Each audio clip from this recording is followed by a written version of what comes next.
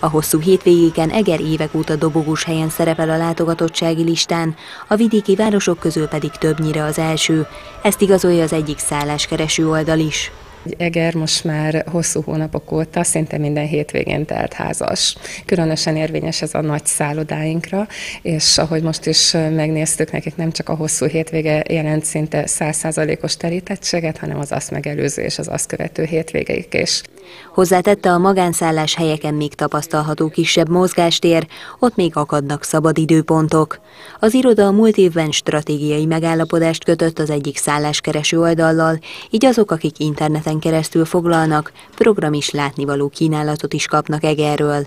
Az ügyvezető elmondta, a városba érkezők az élményeket keresik, ebből a március 15-i hosszú hétvégén bőven lesz részük, hiszen a tavaszi fesztivál programjai mellett a Pálinka Fesztivál szervezői koncertekkel, illetve ital és gasztro különlegességekkel várják a bevásárlóközpontba látogatókat.